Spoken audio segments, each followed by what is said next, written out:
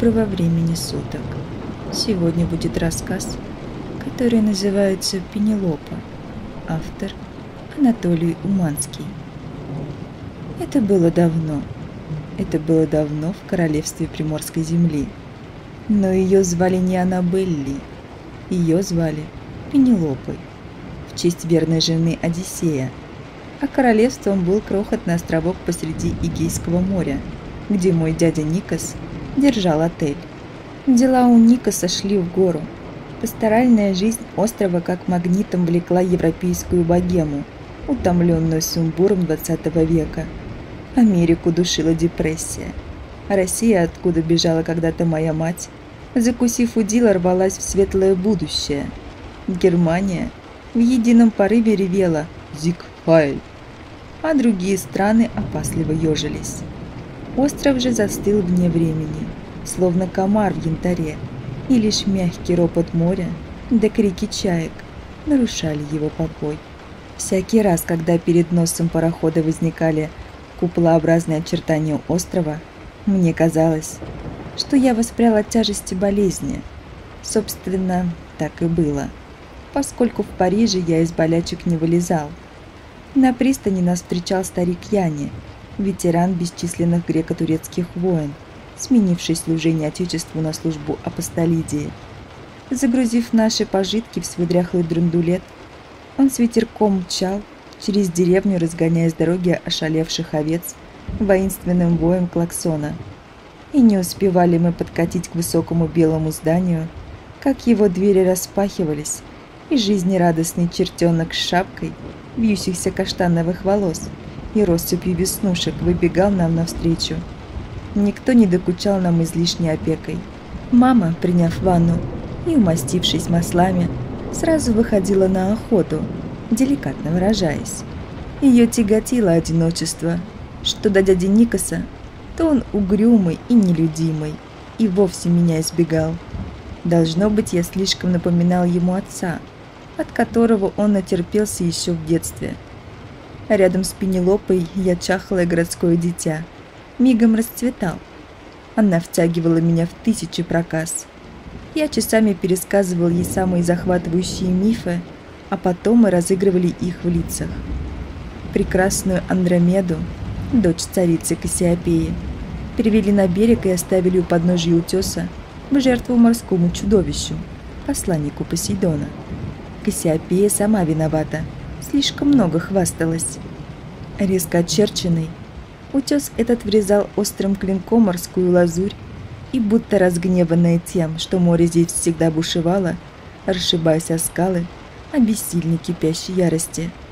У подножия утеса, отделанной от воды чистоколом скал, зияла пещера. Черный, бездонный зев, откуда веяло холодом. У этой-то жуткой пещеры несчастную царевну приковали. Бедняжка Андромеда — как кричала она и билась в оковах, выгибаясь всем своим гибким пленительным станом. Как не хотелось ей умирать. Но уже с ревом подымалось из пучины чудовище, разевая огромную пасть, и зубы в ней были, что мечи.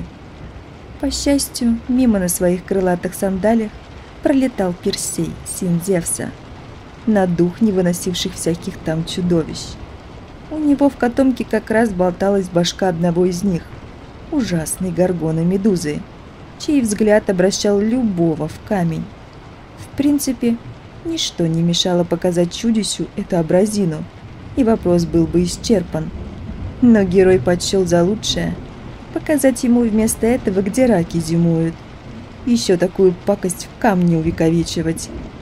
Выхватив меч, подаренный быстрокрылым Гермесом, Персей вонзил его в поганую тушу. Ох, и взвыло тогда чудовище. Ох, и кинулось на героя. Но он был неуловим и наносил удар за ударом. Окутанные тучей брызг бились враги не на жизнь, а на смерть.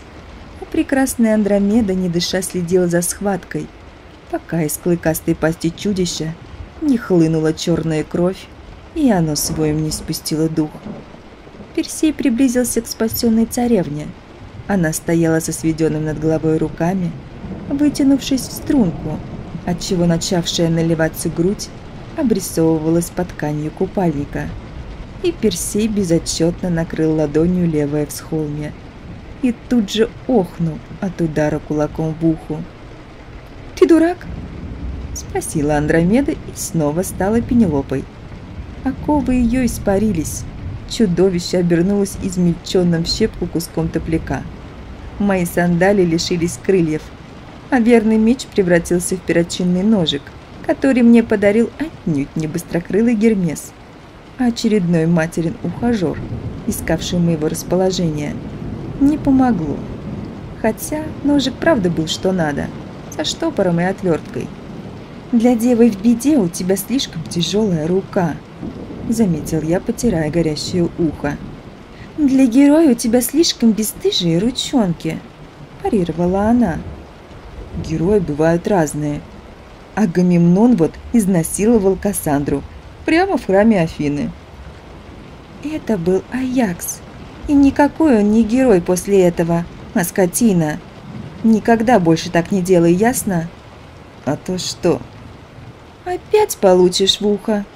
Вот и Кассандра так говорила Аяксу но ее пророчество, как всегда, никто не принял всерьез. Больше всего нас покоряло то, что, в отличие от нынешних героев, мифические были отнюдь не белыми и пушистыми. Даже благородный Геракл, свободное от подвигов время, отрезал носы и руки, пришиб излишне строгого учителя, что вызвало у Пенелопы полное сочувствие.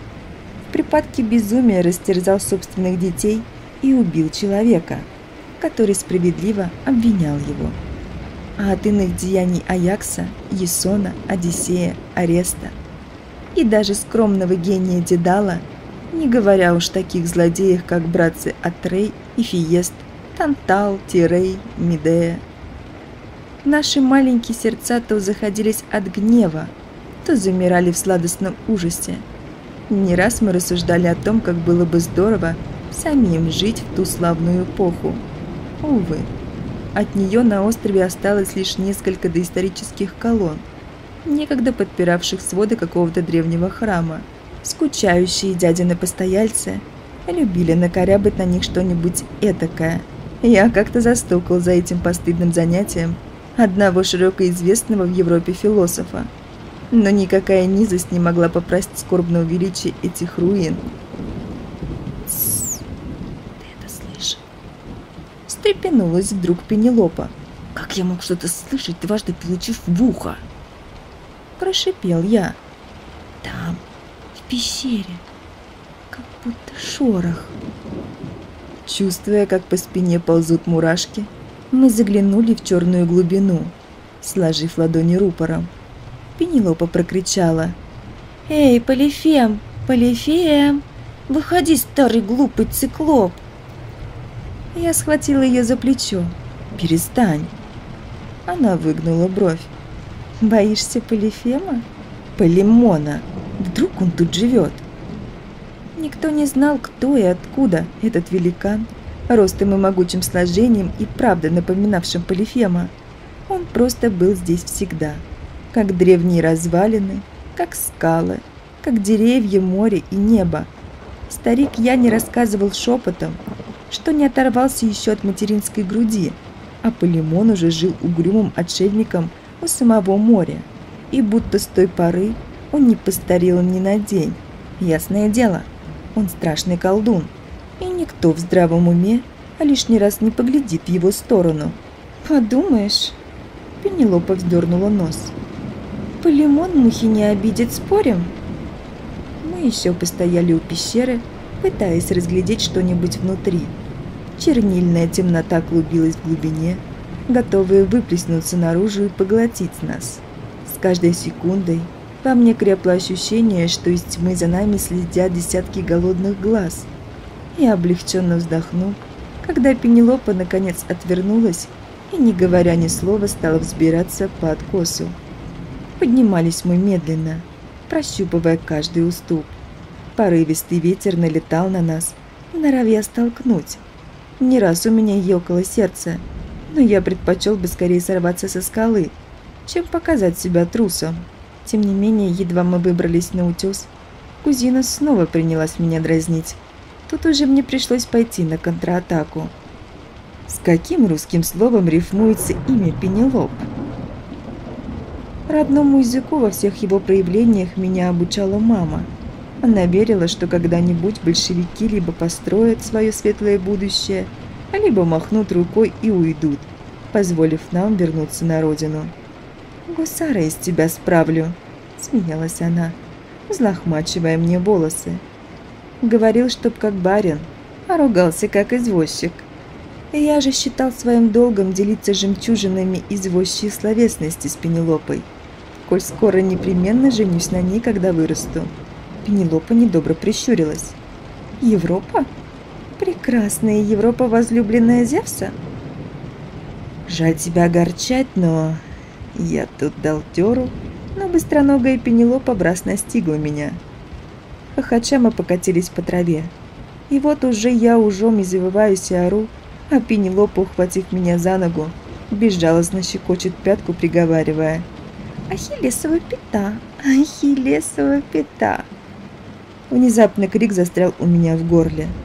По тропинке, ведя, а вернее волоча на привязи рыжую корову, поднимался полимон.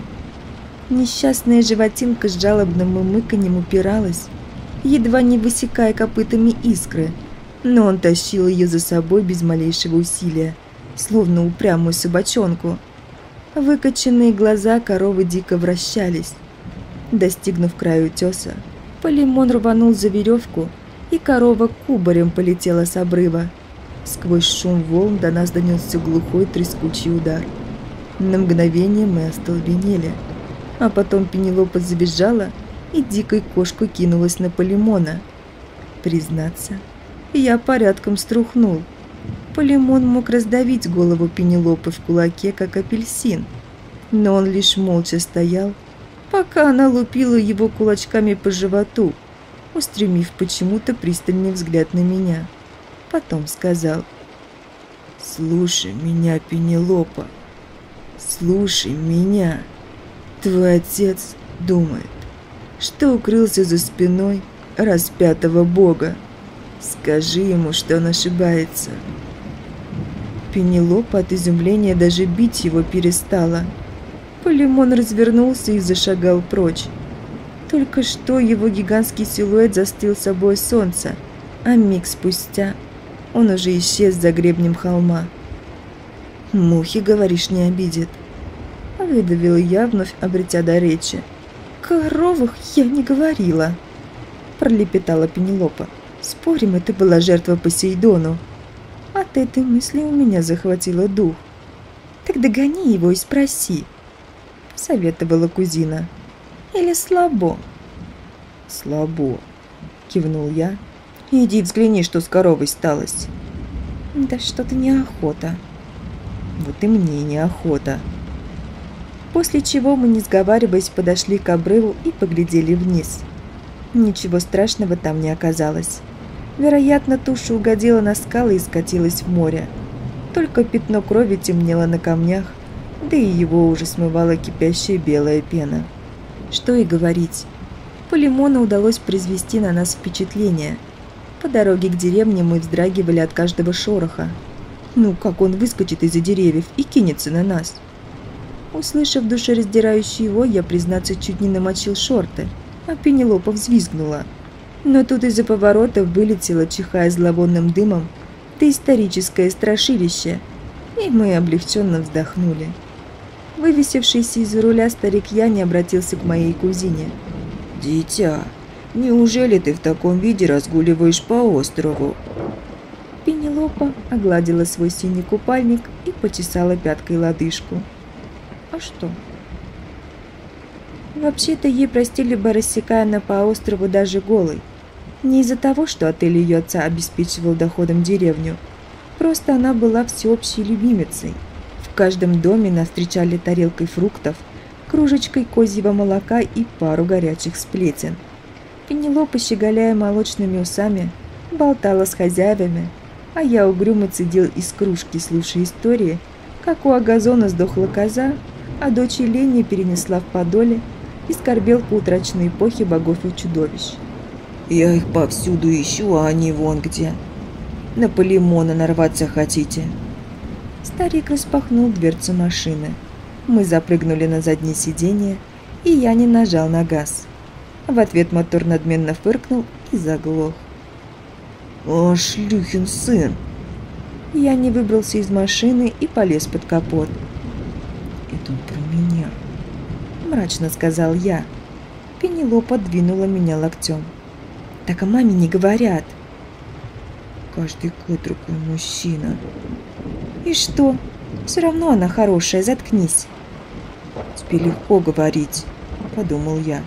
«Не ты проснулась среди ночи от плеска воды в беды и пьяного пения».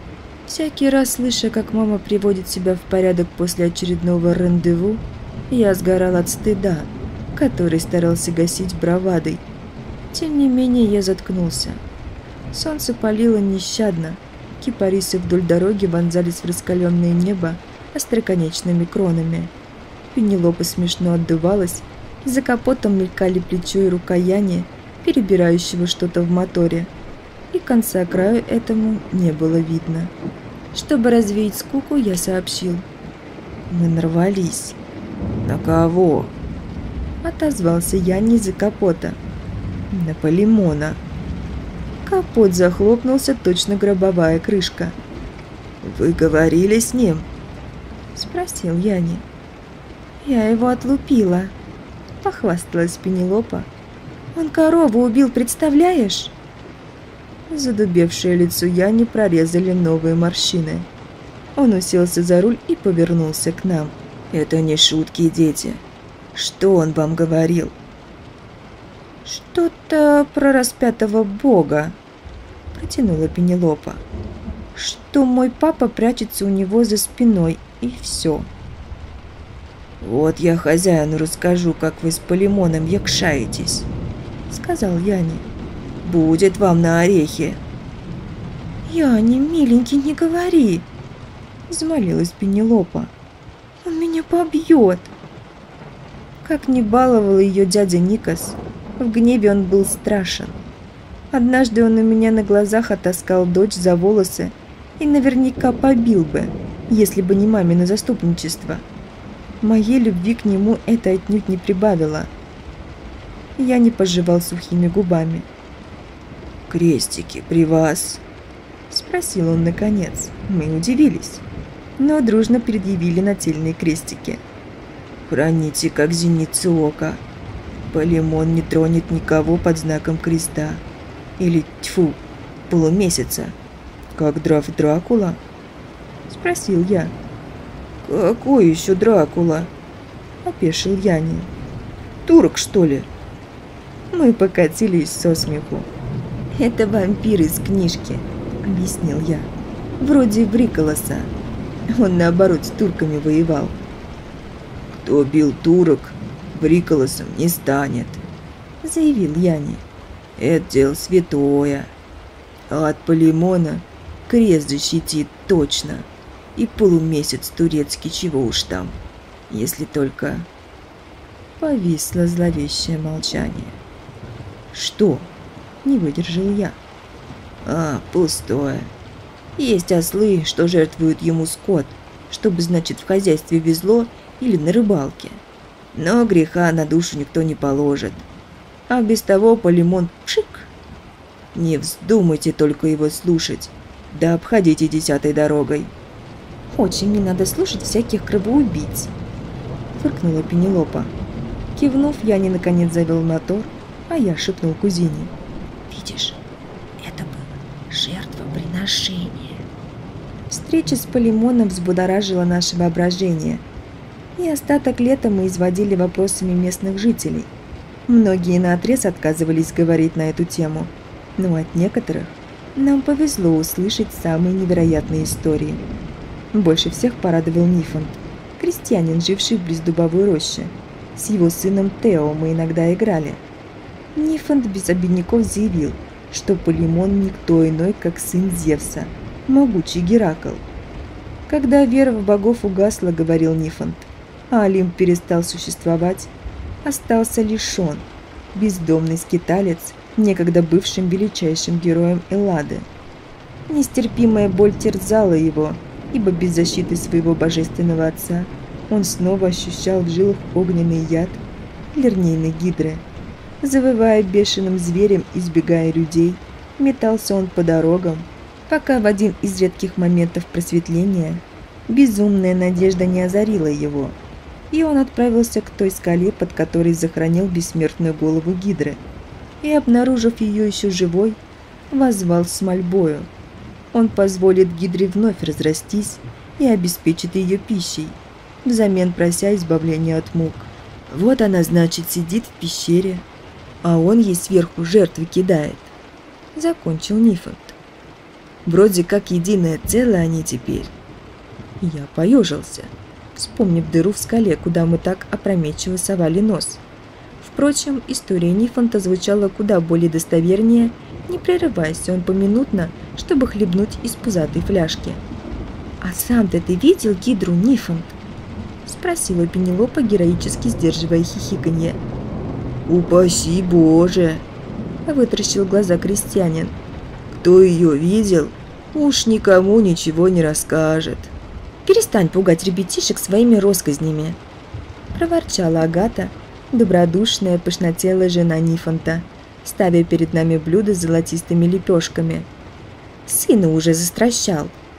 Она кивнула на Тео, который сидел в уголке и внимал нашему разговору. «Гляди, как смотрит!» А Тео смотреть по-иному и не умел. Глазища у него всегда были как блюдца. Худенький, бледный мальчик, совсем не похожий на пышущую здоровьем крестьянскую ребятню. Он проводил все время за книжками, чураясь шумных игр, и только моя кузина умела вытащить его из скорлупы. Случалось, мы дразнили его, подчас довольно жестоко, но обижаться он не умел. Тео мне, в общем-то, нравился – Благо, рядом с ним я смотрелся настоящим бойцом. Не нравилось мне то, как он глазеет на Пенелопу. С таким восторгом охотник Актеон взирал на купающуюся Артемиду. Напомню, что для Актеона это плохо закончилось. «А зачем Гераклу бояться креста и полумесяца?» – спросил я. «Стал боком, так?» – затараторил вдруг Тео. «А Богу нужна вера, а без веры он слаб. Христа верит, а в Геракла не верит. И он не может тронуть никого с крестиком, потому что с крестиком ты принадлежишь Христу, а не Полимону. А разинув рты, смотрели мы на его просветленное лицо. Ты сам сейчас казался башком, маленьким, но мудрым. э сказал Нифонт. Создатель сотворил небо и землю еще когда и верить было некому. Но сила какая-никакая у Полимона осталась. Это да и если ему серьезную жертву принести. Он сделал страшные глаза. «Человека?» – уточнил я. «Человека», – эхом отозвался Тео. Снова, как и во время беседы с Яни, воцарилась зловещая тишина. Лишь стрекотали за окном цикады. Молчание нарушила Агата. «Господь с вами! Обойди весь остров, не найдешь нехристя, который бы всю душу рискнул сгубить ради Полимона. Коров ему, однако, дают, заметила Пенелопа. Тут наш хозяин заметно смутился и пробубнил, что пожертвовал Полимону корову, чтоб, значит, остальные лучше доились. Но это добавил он сущие пустяки. Вот что бывает, когда не разбавляешь вино, заключила Пенелопа после того, как мы покинули гостеприимный дом Нифонта. А ты, о правда, умный, да? Надо будет отлупить его, чтоб не воображал. Отлупить Тео мы не успели. Пришла пора расставаться. Совсем еще малышом я не раз спрашивала маму, почему бы нам не жить на острове круглый год, раз отец владеет отелем вместе с дядей. Вопрос приводил ее в раздражение, как и любые вопросы, связанные с отцом. «Видишь ли», — объясняла она наконец, — «твой отец пропал в море. Не озаботился составить завещание в твою пользу а затянувшийся курортный роман – это далеко не законный брак. Мы бедные родственники. Мэше, скажи спасибо дяде Никусу, что вообще позволяет нам приезжать. А почему ты не вышла тогда за папу?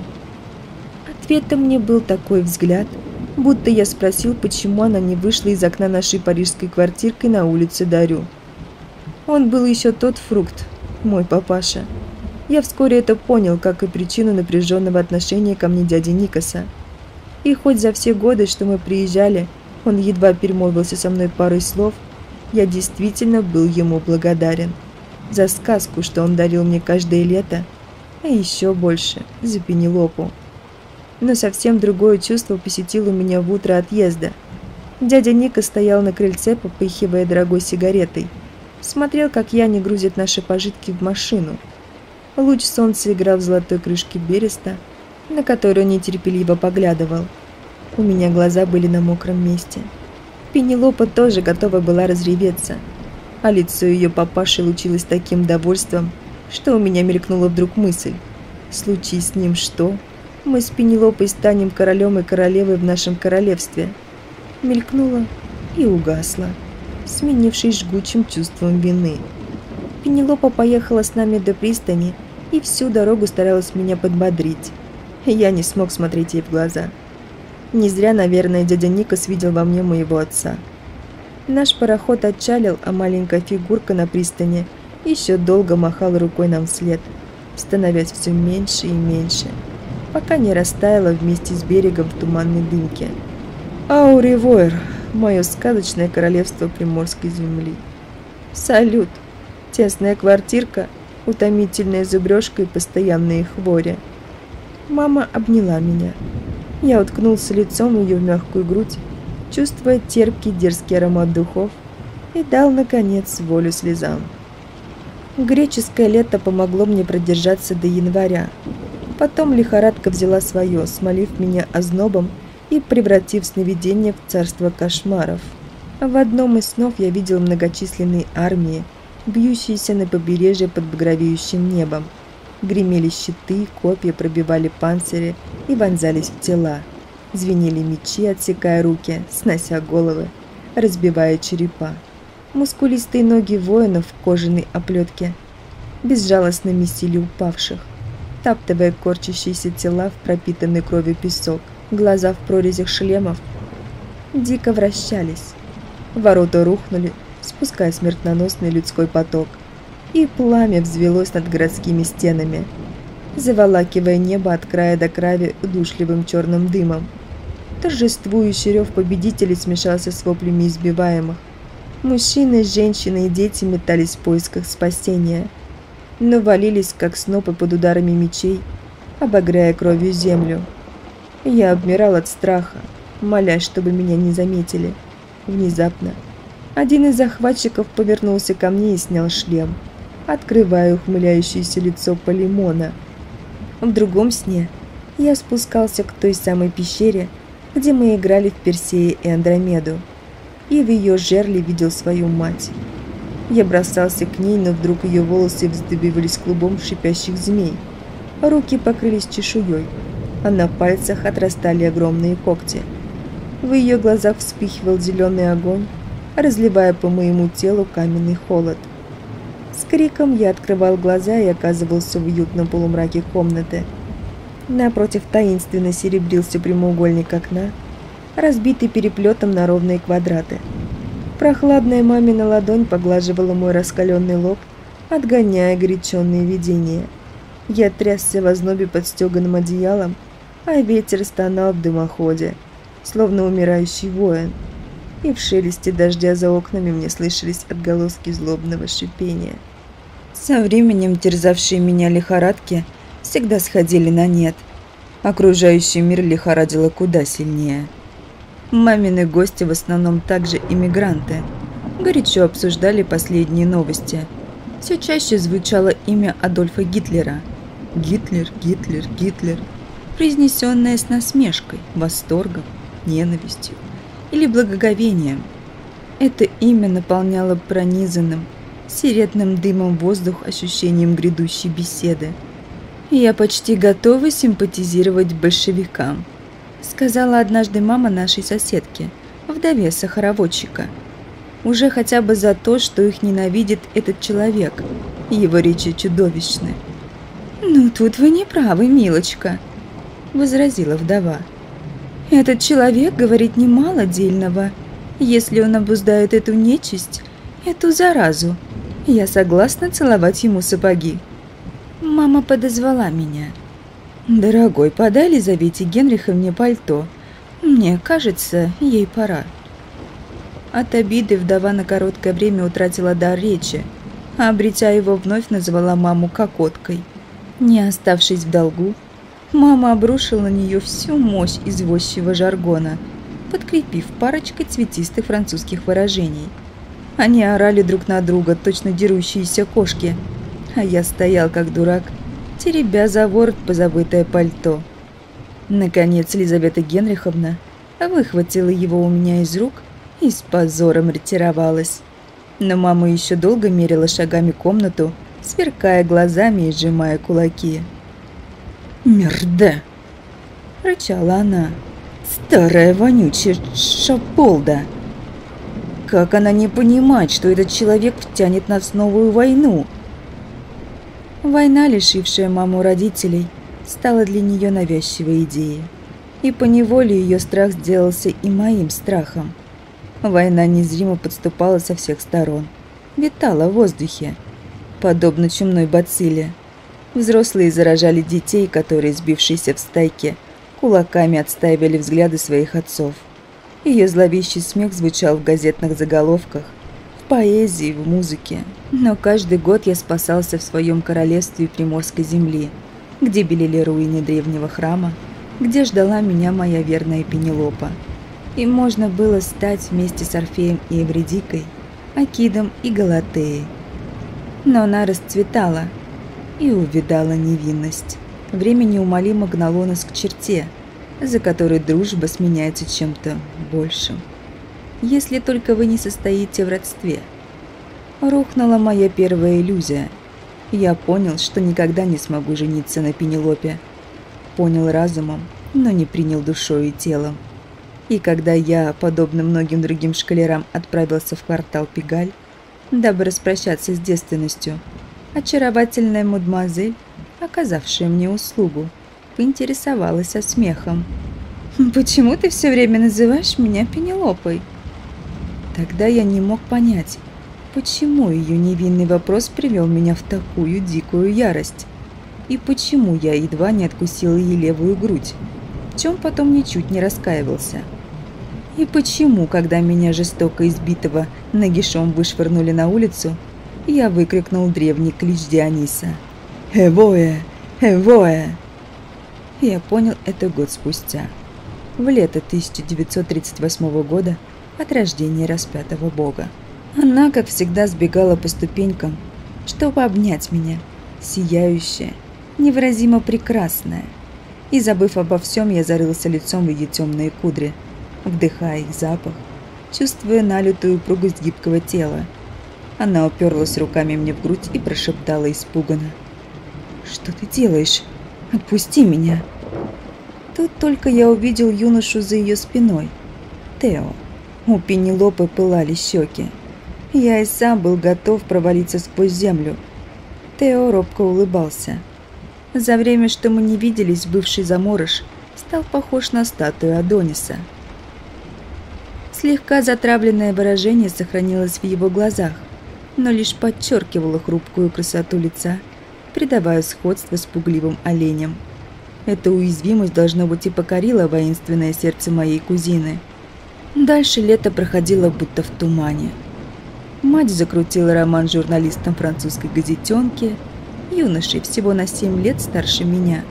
Немало не смущенный этим пикантным обстоятельством – он упорно искал моей дружбы, донимая пылкими речами, донимая пылкими речами о неизбежной победе мирового пролетариата.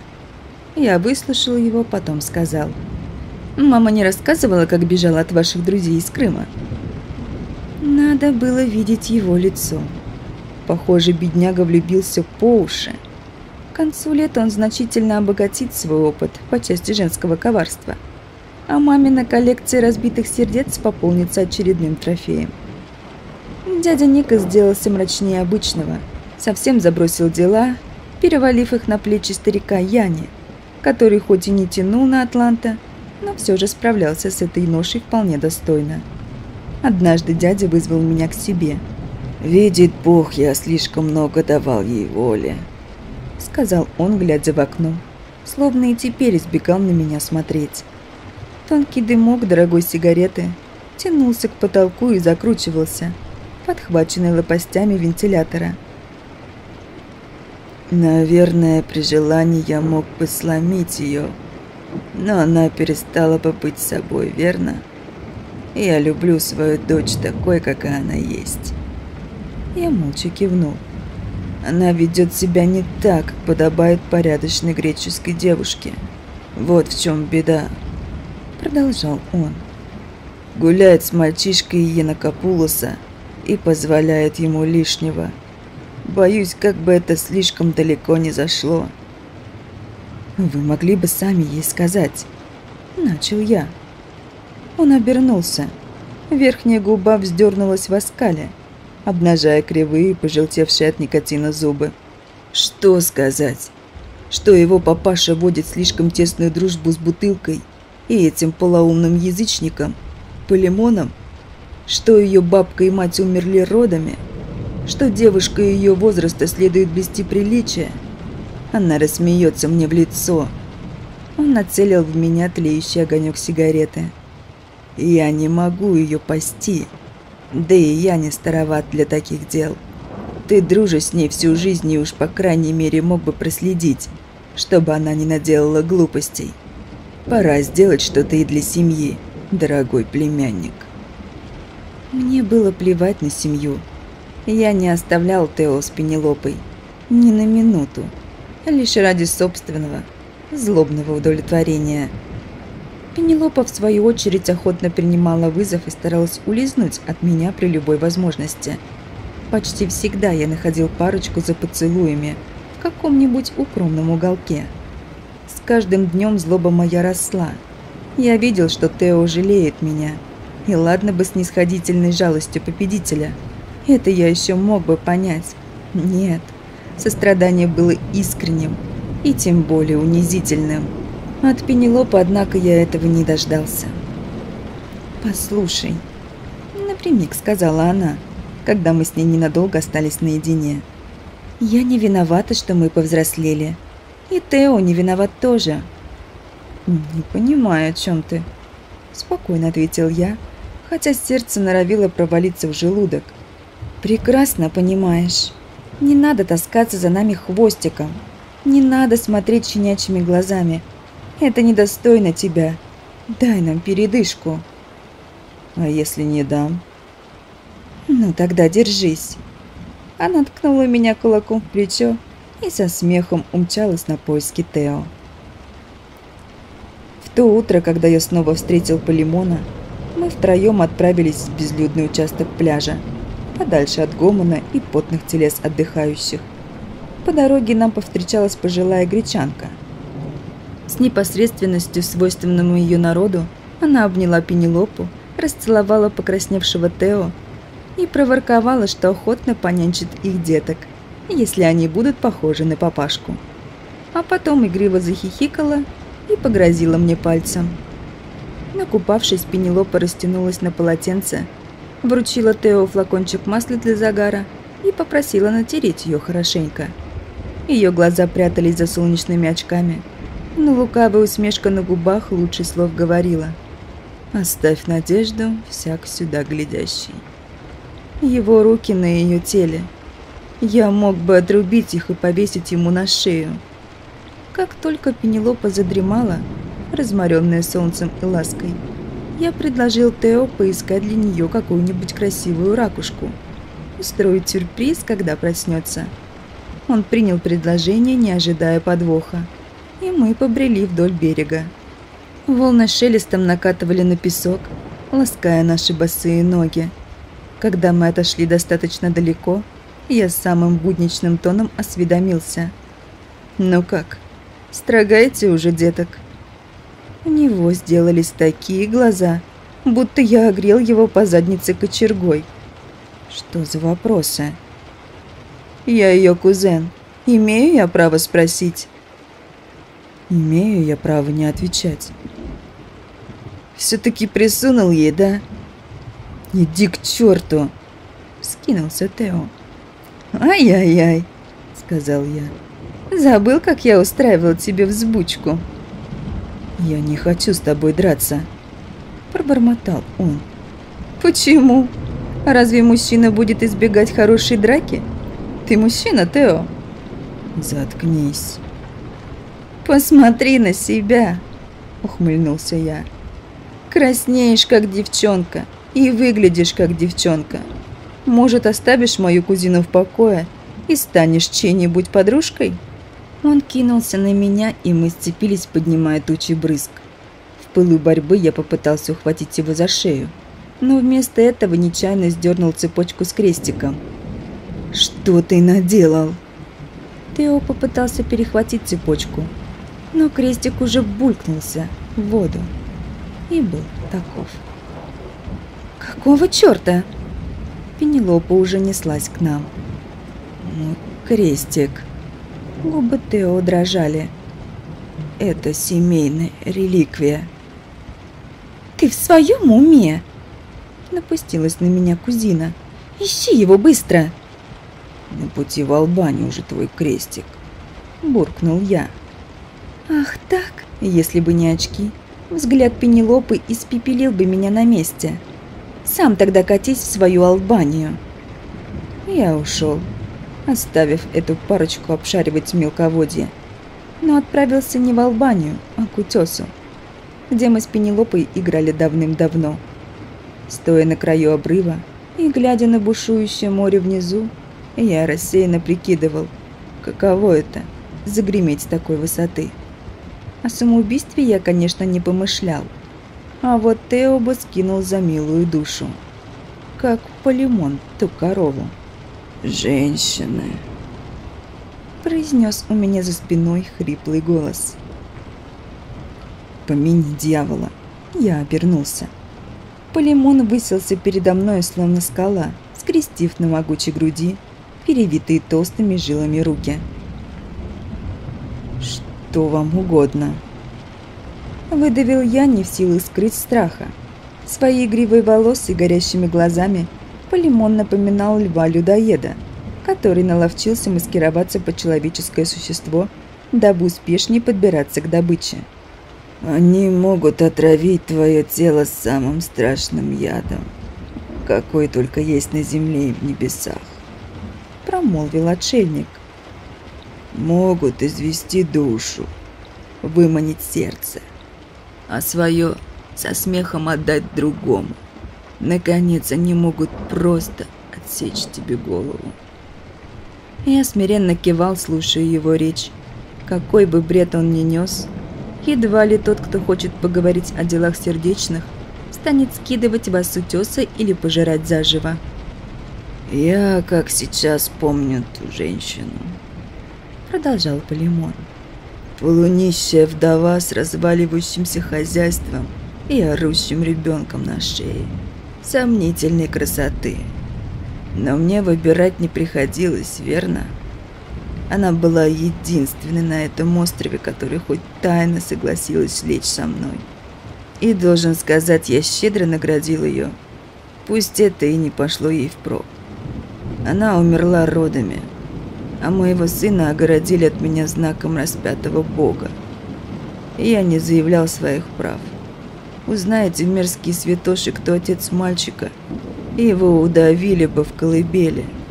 Но благодаря моей награде он и его брат никогда не знали нужды. Я следил издалека, как он рос и становился мужчиной.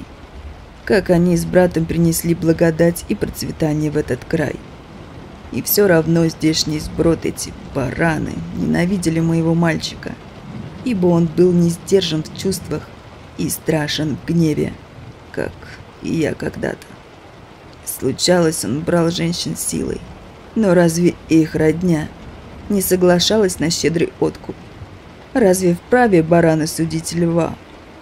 Его убили подло, из-под тишка, шлюха, с которой он спал, и завистливый братец. Это сошло им с рук. Они сказали, что мой сын пропал в море, умолчав, что перед тем, как он был разрублен на куски. С каждым новым его словом в моих ногах разливалась противная слабость. Я больше не хотел слушать. Но что была моя воля против этих горящих глаз? Против громового голоса? Его слова вытесняли мои мысли. Его гнев становился моим гневом. «О, как бы не символ распятого Бога!» – запрочитал Полимон. «Я растерзал бы не только их тела, но и души.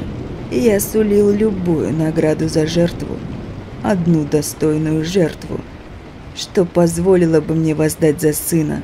Я присмыкался перед этими скотами из деревни. Жалкие подачки и проклятия.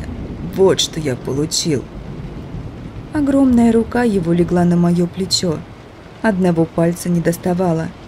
Судя по неровному обрубку, он был откушен огромными зубами. Быть может, теми, что сейчас скалились мне из косматой бороды. Я вспомнил, что откусыванием пальца древние греки откупались от Эриней, кровожадных богинь мщения, а Полимон без сомнения был греком чертовски древним. «Помоги мне, мой мальчик, и я помогу тебе», произнес он, возвращая меня к реальности. «Нет», пробормотал я. «Я не могу».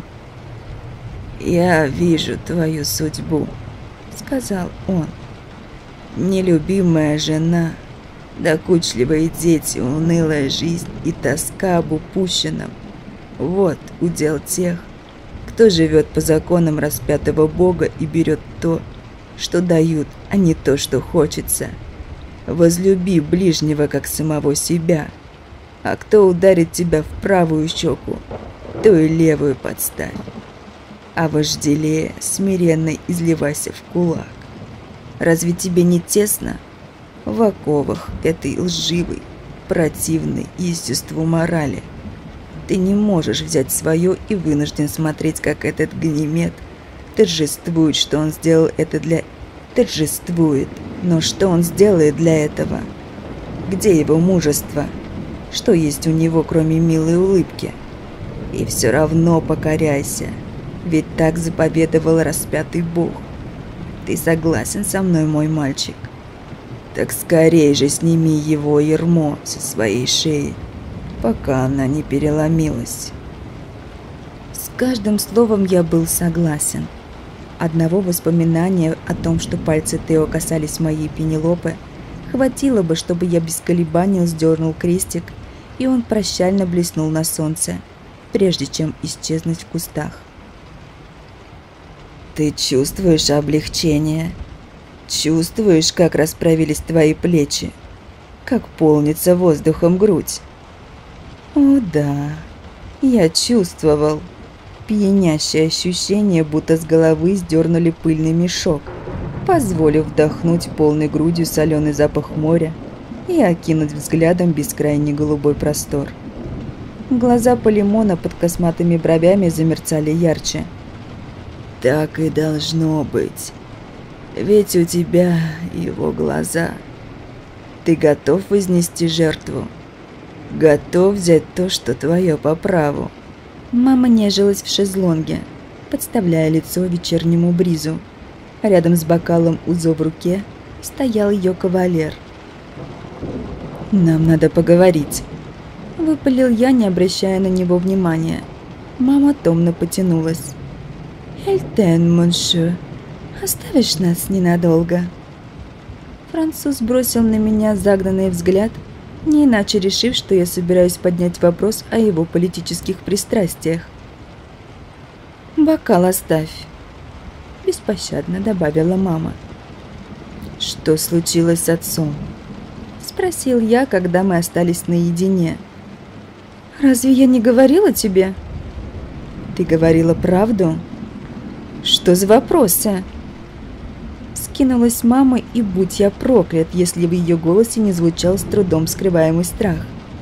«Видит Бог, здесь хватает сплетников, но...» «Почему ты так нервничаешь?» Мама запом осушила бокал. Помолчала, дробно перекатывая во рту кубики льда.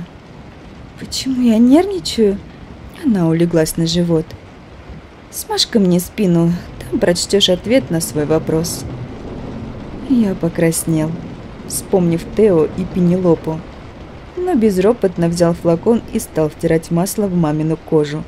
Туда, где белел шрам в виде греческих букв «Сигма» и «Альфа». «Стефан Апостолиди, на случай, если ты забыл», — сказала мама.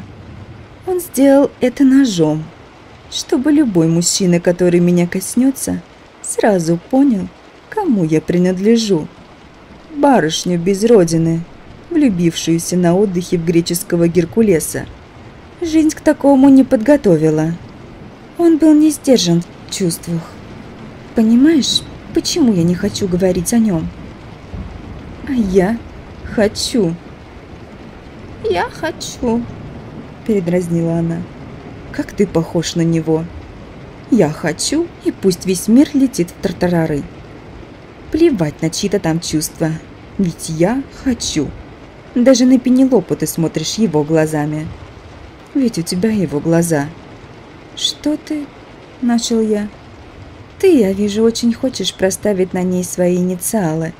Так запомни, она твоя двоюродная сестра, и ты должен любить ее только в таком качестве. Ты еще будешь учить меня? Скинулся я. После всех своих дружков? Я ожидал пощечины, но мама лишь ядовито улыбнулась. «Вот как ты заговорил. К твоему сведению, Марше, я мотаюсь на этот поганый курорт не ради, как ты изволил выразиться, дружков, а ради тебя. И я снова и снова приезжаю туда, где пережила самые гнусные унижения. И да, завожу дружков, чтобы стереть инициалы Стефана. Хотя бы со своей души, если не своего тела. Она уже кричала. «Я выстрадала право учить тебя, и если я увижу, что ты угрожаешь этому мальчику или Пенелопе, Никос узнает об этом, будь уверен. А теперь убирайся!» Снова меня прогоняли, как нашкодившего щенка. И снова та, кого я любил. И я ушел в свой номер плюхнулся на кровать и вцепился зубами в кулак, чтобы не закричать. Я простил бы маму, скажи она «да, я убила». Но того, что она оттолкнула меня, когда мой мир рушится, простить не мог. В Лакониуме. Вот где это произошло. В жарко натопленной греческой парной. Отец блаженно развалился на каменной скамье, укрыв полотенцем мускулистые бедра – Мама сидела рядом, позволяя его рукам бесцеремонно гулять по ее телу, поигрывать тяжелыми, поблескивающими от влаги грудями. И лишь затравленный взгляд, какого я никогда у нее не видел, выдавал ее истинные чувства. «Стефан, пожалуйста, я должна кормить малыша». Жалкий мамин голос тонул в духоте парной. Вместо ответа он откинул полотенце, и по-хозяйски взял маму за волосы.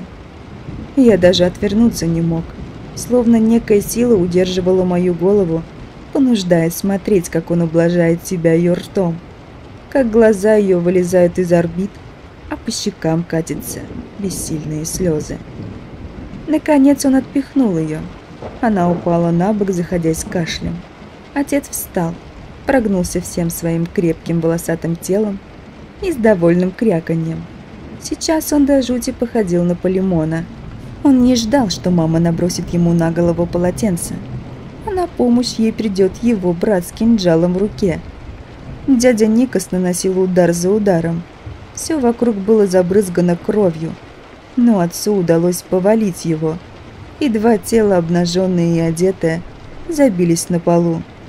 И тогда мама, моя ласковая, заботливая мама, выхватила из-за колонны припасенный заранее топор, и лезвие вонзилось в могучую шею отца и засела в кости, и кровь взметнулась фонтаном. Со второго удара голова покатилась с плеч и осталась лежать на складках размотавшегося полотенца. Задыхаясь, апостолиди столкнул коленом обезглавленное тело брата. Оно опрокинулось на спину выставив на показ торчащую в груди рукоять кинжала. С топором в руке мать вывалилась в предбанник. Струйки крови сбегали по ее грудям, животу исчезая в куще волос внизу. С лезвия топора срывались тяжелые капли и густыми кляксами шлепались на белом мраморный пол. Свободной рукой она ухватилась за колонну и ее мучительно вырвала. Очнулся я обмотанный, словно саваном, пропотевший простыней. За окном разгоралась заря. Золотисто-огненные блики играли в оконном стекле. Стоявшая в номере духота напоминала жар парной. И я понял, что больше ни минуты не выдержу здесь. Громада отеля призрачно белела в сумерках. Море набегало на берег с заговорщицким шепотом, будто хотело раскрыть погребенную в нем жуткую тайну.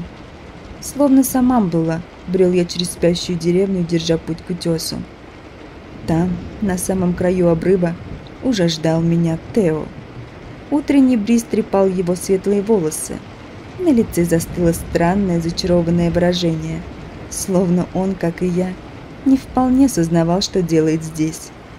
Дикая ярость обуяла меня. Я вдруг понял, что не смогу называться мужчиной, пока он жив. Он обернулся. На губах, которыми он целовал мою пенелопу, расцветала растерянная улыбка. И я ударил кулаком в эти ненавистные губы, чтобы только ее стереть. Подавившись криком, он взмахнул руками и полетел с обрыва и я склонился над кручей, тяжело дыша и посасывая разбитые костяшки. Тео раскинулся на берегу у пещеры, нелепо вывернув руки и ноги. Его затылок и плечи облизывал прибой. Ни ужаса, ни раскаяния. Напротив, мысль о том, что я нарушил важнейший из человеческих законов, пьянила, будоражила кровь. Внизу живота разливалось сладостное томление. Я видел, что Тео еще жив, и его грудь вздымалась, и горел желанием поскорее спуститься и довершить начатое. Но поскорее не вышло. За минувшие годы я вырос, а проклятые уступы нет. Не хватало только разбиться самому, чтобы вечером на берегу обнаружили двух соперников, примирившихся в смерти. Экая пошлость. Словом, к тому времени, как я добрался до Тео, и похлопал его по холодным щекам, желание разодрать ему глотку зубами слегка поутихло. Он открыл глаза и еле слышно прошептал. «Ноги. Чувствую ног». «Что же ты больше не улыбаешься?» – спросил я. «У тебя ведь чудесная улыбка, улыбнись. Покори мое сердце, чтобы я привел помощь». сказал Тео. Меня позвал сюда Полимон. Полимон так Полимон. Кивнул я и зажал рукой его нос и рот. Тео вздрогнул, напрягся всем телом. Я усилил хватку, но тут он закашлялся, и горячая кровь брызнула в меня сквозь пальцы. С проклятием я отдернул руку, чуть не вытерев с дуру о штаны. Что-то блеснуло у моих ног. Набежавшая волна захлестнула руку длинным пенистым языком, словно не желая отдавать находку. Это был Ксифос, короткий меч, каким сражались древние греки. Я поднял его и долго разглядывал, зачарованный игрой света на влажном клинке. «Ты готов изнести жертву?» «Да». Вот что я тогда ответил. В распахнутых глазах Тео сияло опрокинутое голубое небо. Волны разлетались о скалы, оседая на его лице пенными хлопьями. Разбитые губы Тео шевелились. Звал ли он мамочку или повторял имя Полимона?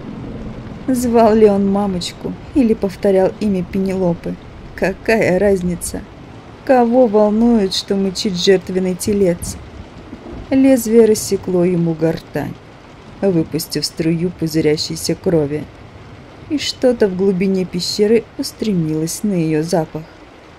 Сперва мне показалось, что тьма, сгустившись, исторгла огромный затупленный дубовый таран, подернутый слизистой плесенью.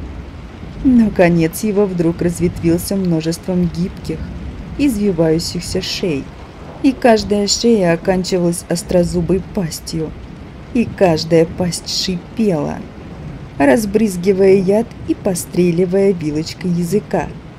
И над каждой мерцали огоньки глаз. Было в этой твари что-то настолько чужеродное, что один взгляд на нее, казалось, способен лишить рассудка. И я оцепенел, выставив перед собой меч. А потом заорал не своим голосом, и будто в ответ разразившись визгом страшные пасти. Они вцепились в умирающего всем скопом, выдирая шматы кровоточащей плоти и тут же заглатывая.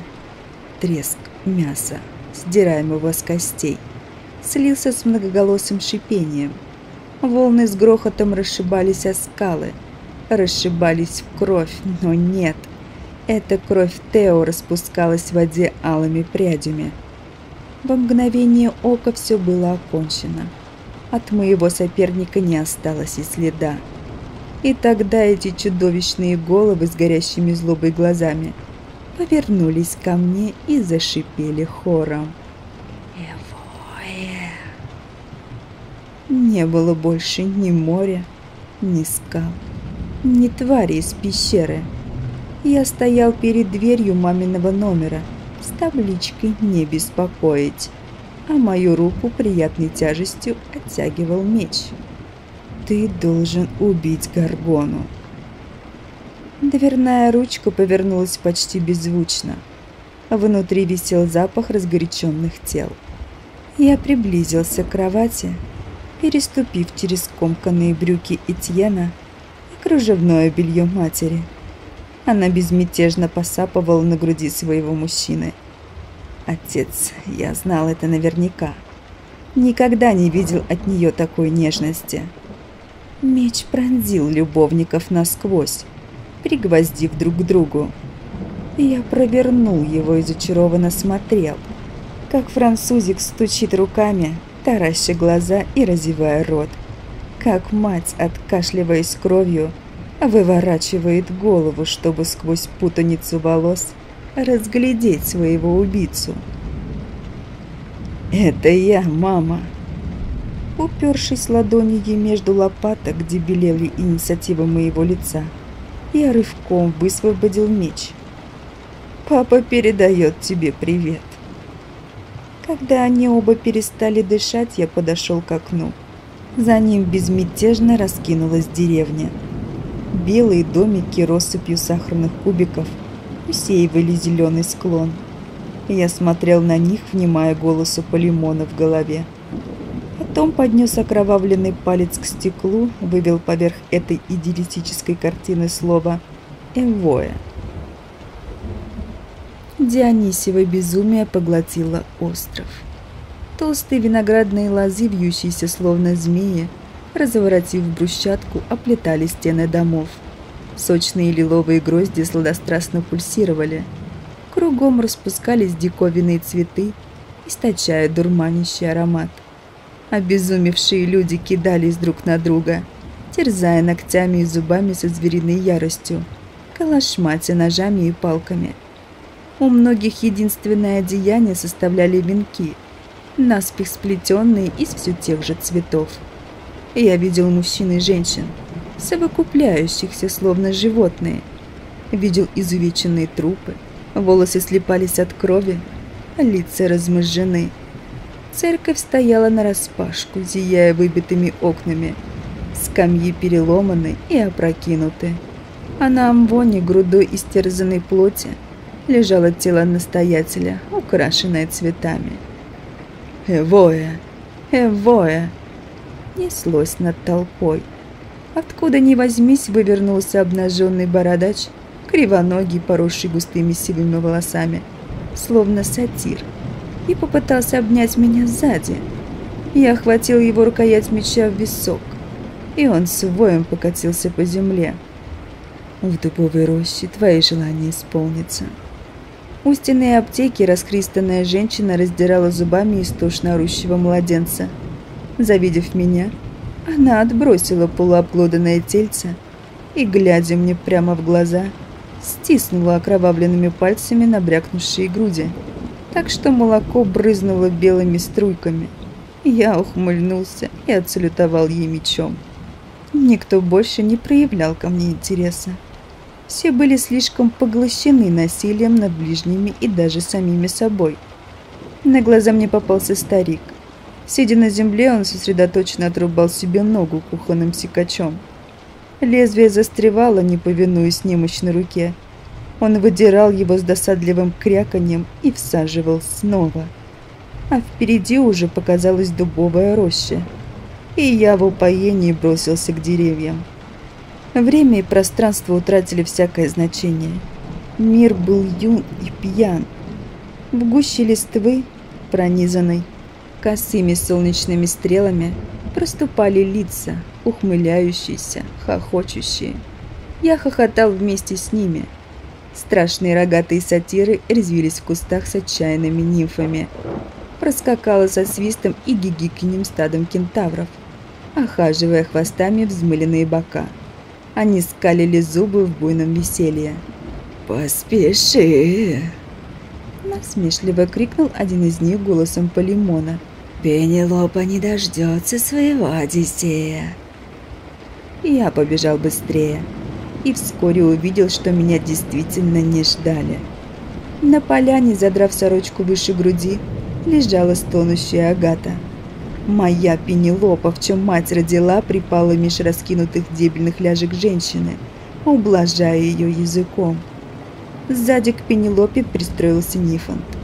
Обхватив за бока, он яростно дергал дрябным волосатым задом, издавая вопли, похожие на рев осла.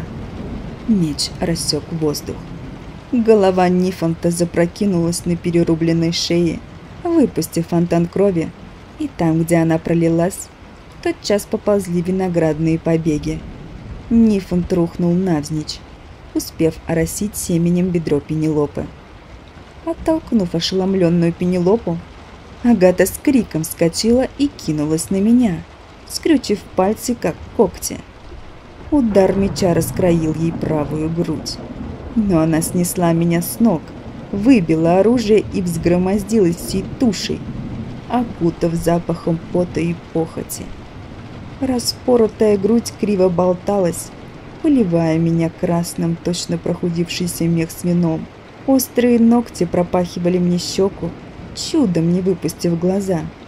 Зажмурившись, я попытался ударить обезумевшую фурию кулаком в челюсть, но ее крепкие зубы тотчас впились мне в запястье. Я вслепую пытался нашарить меч другой рукой, Агата вдруг сдавленно охнула. Приоткрыв один глаз, я увидел ее запрокинутый подбородок, а рядом перекошенное в оскале лицо Пенелопы. Ее рука прижимала лезвие меча к натянутому горлу женщины. «Не надо!» – просипела Агата. «Не надо, дочка!» Мышцы под гладкой кожей напряглись, и горячая кровь брызнула мне в лицо. Клокоча рассеянной глоткой Агата повалилась на бок, увлекая за собой Пенелопу. Пенелопа томно раскинулась на траве, рядом с содрогающимся телом, сверкающая глазами амазонка, залитая кровью и потом до боли желанная. Непослушными руками я сорвал с себя одежду. Она безропотно позволила мне лечь на нее и сама направила меня скользкими от крови пальцами в горячую, топкую глубину. Страсть, если верить расхожим штампам, поглощает, подобно пучине или огню. Наше уместнее было бы сравнить с молотилкой. Пенелопа исполосовала мне ногтями загривок и спину, судя по ощущениям, в лоскуты – Намотав ее волосы на кулак, я выкрикивал ее в лицо оскорбления. Дрянь, тварь, потаскушка. А тем временем из земли лезли все новые виноградные лозы, оплетая тела убитых нами людей. «Твоя мать шлюха!» — крикнула Пенелопа. «Мертвая шлюха!» — прохрипел я, вколачиваясь в нее. «Мертвая!» шлюха!» Пенелопа злобно захохотала. золотой крестик бестолково дергался меж взмокших, подпрыгивающихся грудей с каждым моим толчком. «Как ты смешон, распятый бог!» — думал я, остервенело впиваясь зубами в левую грудь. Смешон и бессилен. Пенелопа закричала, выгибаясь подо мной. От боли, наслаждения или того из другого сразу. Бешеные удары ее сердца наполнили мой рот через упругую плоть. А от низа живота уже катилась по телу жаркая волна, чтобы взорваться в голове ослепительной вспышкой, выжигая все мысли к черту. Эвоя, Эвоя. Налетевший холодный ветер покрыл мою кожу мурашками. Вкрадчивый треск цикад проник в уши, возвращая к жестокой реальности. Я с трудом разодрал веки, схваченные кровяной коркой, ощущая мучительную боль во всем теле. Остекленевшие глаза Нифонта укоризненно глядели на меня из переплетения виноградных лоз. Гибкие побеги до сих пор буравили мертвую плоть, погребая под собой тела супругов. Даже теперь я не чувствовал ни горя, ни ужаса, ни раскаяния. Странное пугающее ощущение. Я будто не принадлежал ни этому миру, ни человеческой расе. Отрешенно разглядывая руки, на которых запеклась кровь матери, я думал, что Полимон не лгал мне. Я его плоть и кровь мои пугающие сны и видения, то, что он мне хотел поведать, беспричинные вспышки ярости, отголоски его собственного нрава, тоска по безвозвратно минувшему, его тоска. Я рос, чтобы осуществить его ужасную месть моей матери, дяде, деревне, откупившейся от него домашним скотом. Да было ли у меня что-то свое? У меня была Пенелопа. Но Пенелопы не было. Я вскочил, будто подброшенный. Боль ударила в голову чугунным колоколом. Деревья закружились в зеленом хороводе. «Где она?» Трясущимися руками я натянул штаны прямо на голое тело. Рубашку отыскать не удалось. Если Пенелопа взяла ее, чтобы прикрыть наготу, значит сознание к ней вернулось. Она в ужасе и в отчаянии бежала от меня. От того, что мы вдвоем совершили. Но куда? К отцу в деревню или... Нет, нет, только не туда. И там я ее и нашел. На том самом месте, где утром стоял Тео, дожидаясь, когда я принесу его в жертву. Она замерла над обрывом, маленькая и тоненькая, на фоне наползающих с моря тяжелых туч. Ветер трепал ее волосы, играл подолом рубашки, открывая бедра в темных кровоподтеках, оставшиеся после моего безумного натиска. И это зрелище сжало мое сердце щемящей тоской. Я хотел прижать ее груди, окружить заботой и укрыть от ужасов, которые вовлек. Но она стояла почти на самом краю, «Пенелопа!» — окликнул я. Повернулась ко мне медленно, как автомат. На белой ткани рубашки распускались кровавые пятна. Истрескавшиеся опухшие губы свела мучительная гримаса, превратив лицо в античную маску трагедий. «Нет больше Пенелопы», — вымолвила она. И, глядя на нее, я понял, что она права. Как права была мама. Вот они, мои несводимые инициалы. Эти погасшие глаза, этот сорванный криком мертвый голос. Это Полимон устроил, сказал я. Это все он. Давай найдем твоего отца и... У него больше нет дочери. Я зарезала Агату и помочилась ей на лицо, когда ты уснул, смеясь. И Тео я потеряла. Тео мертв. Чуть не сказал я, но вовремя опомнился. И снова твердил, что нашей вины здесь нет. Мы не ведали, что творим.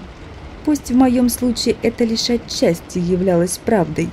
Но Пенелопа не слушала. И тогда я в отчаянии закричал. «Они насиловали тебя! Чуть меня не прикончили!» «Ты тоже меня насиловал!» И мне это нравилось. А ведь я не твоя, я ничья больше. Я убил маму, выдавил я. Последний самый страшный козырь, способный побить то, что совершила она. Только бы она отошла от обрыва. Пенелопа долго смотрела на меня, потом отступила на шаг. «Стой!» Я протянул к ней руку. «Это все я. Он заставил меня. С меня все началось. Стой, Пенелопа!» Она сделала еще шаг. Волосы взметнулись над головой темным нимбом. Я рванулся к ней, но схватить не успел.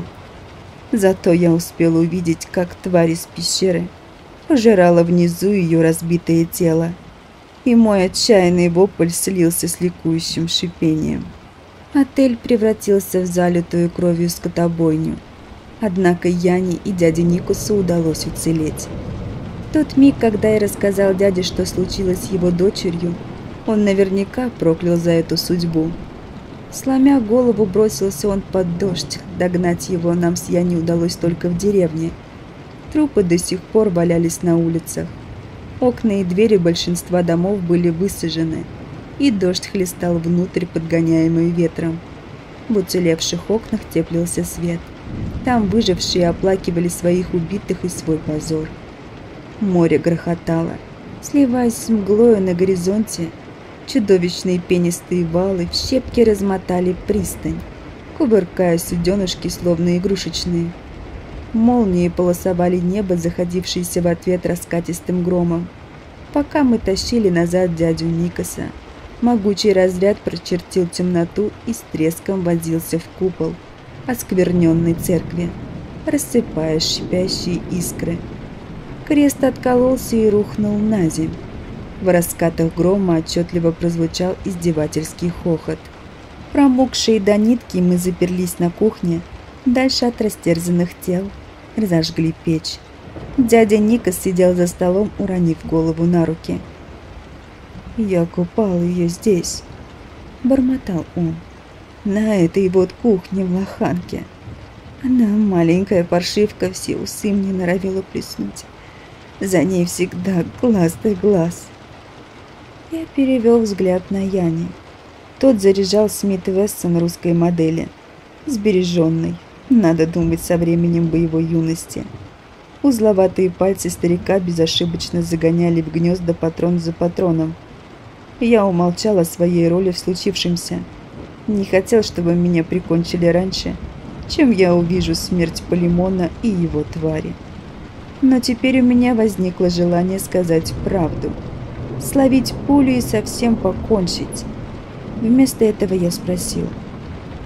«Ты уверен, Яни, что пули его возьмут?» «Пули эти освящены в церкви», — сказал он. «Наши духовники благословили их для войны с турецкими выродками. Если святые символы больше не сдерживают его, это не значит, что они не могут его убить. А тварь? Если не сладят пули, Будем рубить и жечь, как Геракл делал. Я вспомнил историю бедного Нифонта. Нет, Полимон не мог быть Гераклом. Это бредовый сон. Сейчас я закрою глаза, когда открою утром, Пенелопа будет жива. Но наступило утро, и Пенелопа по-прежнему была мертва. И мы с дядей Никосом тряслись на заднем сиденье автомобиля Яни – оцепенела, глядя на посвистевшие мимо кипарисы и тополя. Черный дым тянулся в умытое дождем голубое небо, а со стороны развалин древнего храма доносились жалобные овечьи блеяния и нестройный хор. «Старым богам жертвы возносят», — пробормотал Янь. «Совсем спятили». Сидевший рядом со мной дядя Никас ничего не ответил. Судя по его блуждающему взгляду, он и сам недалеко ушел от этих безумцев. Я не дал по газам. Он гнал прямиком к обрыву, и я закричал. Тормози, я не тормози! Автомобиль остановился, взвизгнув рессорами. Старик выбрался первым. Прихватив сумку, оттуда торчали несколько обернутых паклей самодельных факелов. Он передал мне тяжелый топор, револьвер вручил дяде Никусу, а напоследок нежно погладил капот своего железного коня. «Жди, доходяга», — сказал он. «Бог даст, вернусь». Дядя Ника спускался за ним, оскальзываясь на исхлестанных дождем уступах. Волны обрушивались на скалы, доставая нас шипящими брызгами. Черная дыра в скальной породе зияла точный голодный рот. «Держите вход под прицелом, хозяин», — сказал Яни. «А я пока факелы запалю». Дядя Никас взвесил револьвер в руке. Сказал тихо. «Прости меня, Яни». «За что, хозяин?» Откликнулся старый слуга, чиркая бронзовой зажигалкой. «А, чтоб тебя!» Апостолиде выстрелил ему в голову. Грохот прокатился над скалами. Седой затылок Яни разлетелся в дребезги, а зажигалка с плеском исчезла в водовороте белой пены, а из дыры уже вырастало многоголосое шипящее нечто, переливаясь на солнце маслянистыми кольцами, чтобы вцепиться в еще бьющееся тело. В считанные секунды чудовище растерзало жертву и снова исчезло во мраке. «Идем!» — крикнул Никас. Теперь она нас не тронет. И, схватив меня за шиворот, увлек в пещеру. Я не сопротивлялся, пораженный случившимся. Дядя решительно прокладывал путь сквозь тьму. Если я спотыкался и падал, он рывком поднимал меня и тащил дальше. Каждую секунду я ожидал услышать шипение и ощутить впивающиеся в тело со всех сторон острые зубы – но ничего не нарушало тишины, кроме шарканья ног и нашего сбивчивого дыхания. Чудовище словно растворилось во мраке. «Ты не уберег ее», — промотал дядя Никас. «Ты не уберег мою Пенелопу. Это будет только справедливо, как твоего отца». Впереди забрежил свет — Вскоре он стал ярче, и, наконец, мы очутились в огромном подземном зале. Покатые стены испускали мертвенно-зеленое свечение. Куполообразные своды щерились клыкастыми сталактитов. И повсюду белели черепа и кости животных, а среди них осколками дробленного солнца сверкало золото. Гора костей зашевелилась, спучилась и раскатилась сухим треском – на ее месте выросла громадная фигура Полимона. Плечи его были укутаны львиной шкурой, в руках ясеневая палица, пригодная с одного удара размажить череп слону. В сумраке подземелья его глаза мерцали, словно тлеющие угля. Дядя Никас поставил меня на колени. «Полимон, я пришел молить тебя», Револьвер дрожал в его руке, щекоча мне мушкой затылок. «Я готов служить. Я принесу его в жертву своего родного племянника. Я тебе тысячи жертв принесу. Только верни мне дочь Полимон». Острозубая усмешка прорезала косматую бороду Полимона. «Что же ты не просишь своего распятого бога, Никас?» хохотнул он. Разве он не воскрешал мертвых за даром? Апостолиди застонал. Но когда он сдернул с шеи крест и отбросил прочь, голос его звучал твердо. «Не верую в него больше. В Зевса громоверца верую и владычицу Геру, в Аида и Персифону, в Посейдона владыку морей из солнечного Гелиуса, в Аполлона, в Артемиду, в Гермес и Гестию Афину мудрую, в Диметру, Афродиту и Гефеста, в Ареса и Гекату ужасную. Славьтесь, радостный Бак и великий бог Пан. Огромная палица просвистела в воздухе и снесла ему череп. Обезглавленное тело закружилось волчком. Падая, Дядя Никас конвульсивно нажал на спуск, и пуля, взвизгнув у моего виска, вонзилась в ворох костей, а имена давно ушедших богов по-прежнему гремело в каменных сводах, тысячекратно усиленные эхом. И от фигуры Полимона поползли пряди мерцающего тумана. Точно алчные щупальца устремлялись они к апостолиде, всасывая пролитую кровь и мозг. И вскоре призрачная пелена совершенно скрыла мертвеца. Она стремительно густела, расползаясь, пока не заволокла подземелье сплошной бурлящей мглою. Дым завихрился клубами, которых все отчетливее обрисовывались силуэты существ, казавшихся мне поразительно знакомыми, словно он вытягивал их из моей головы, из фантазий моего детства, наделяя зримыми формами. Бесчисленное множество этих форм ежесекундно менялись, протекая из одной в другую, превращаясь то в исполинов со змеиными хвостами вместо ног, то в невиданных зверей, то в причудливые гибриды. Я различала лица, прекрасные и ужасные настолько, что долгий взгляд на них мог бы свести с ума. Выхватив из мертвой дядиной руки револьвер, я поднял его и выпустил в темнеющий за туманной занавесой силуэт три пули. Три послания распятого бога. Грохот выстрелов разлетелся по пещере. Полимон заревел от боли и ярости, а я бросился прочь, сквозь кружащуюся мглу, которая стремительно рассеивалась. Он гнался за мной по туннелю, и хотя я бежал, а он тащился, волоча ноги, расстояние между нами неумолимо сокращалось. Огромное чешуйчатое тело ворвалось в проход. Оно билось в агонии. Головы с визгом метались, колотясь о стены и потолок. Чешуя лопалась, выпуская струйки смрадного дыма. Тварь умирала вместе со своим хозяином или рабом.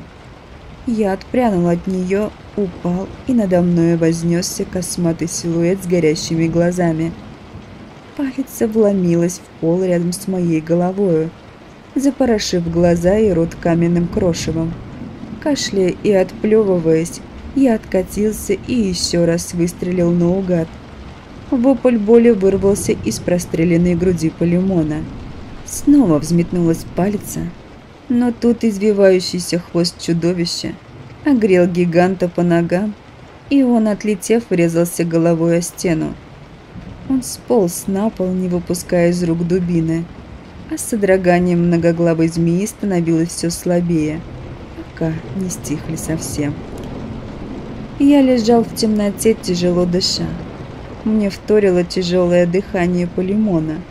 Потом он заговорил – о, мой мальчик, мой глупый мальчик, разве я хотел тебе зла? Ты еще жив, проклятый дьявол. Дьявол. Я лишь защищал последние крохи своего мира. Но пусть дьявол. Куда хуже, что я стал философом.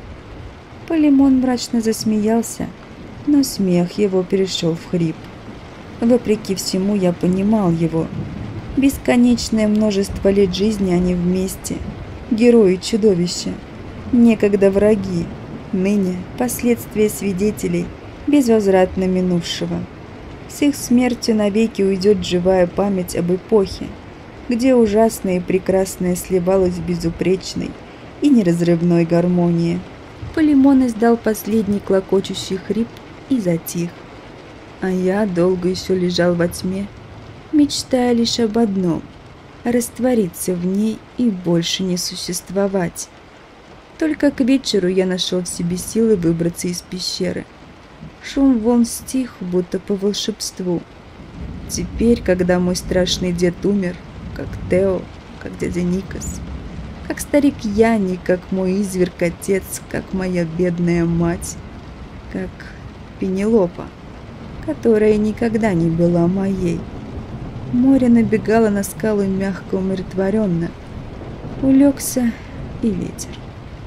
и алмазными россыпями сияли созвездия, среди которых, приглядевшись, можно было различить Гидру и Геркулеса. В следующем году началась война.